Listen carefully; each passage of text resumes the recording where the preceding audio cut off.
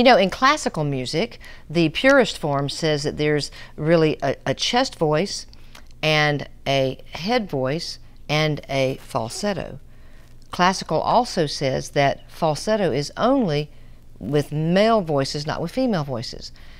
I kind of uh, explain it a different way. And what I mean by that is people get confused when you say chest voice, head voice, and then falsetto. What are all those things? I like to divide it into two halves. I think that most people can relate to their speaking voice as being their chest voice, and their falsetto is being kind of that wispy up there kind of thing, like your I call it your church lady voice, but you know it's it's that higher part of your register that when you're singing in chest voice, you get to a certain place and your voice kind of breaks over. So I believe that separating your voice into two halves is a little bit easier to deal with. So falsetto would be kind of like singing down from the cloud. Ah,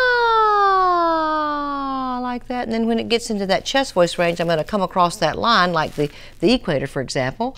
And then I'm going to start in chest voice. Ah, like uh, sitting on the mountaintop. So falsetto is really more of the, the softer, higher end part of your voice, although it can be pretty impactful and powerful if you work on it that way and condition it to be so. And then your chest voice is most notably your speaking voice.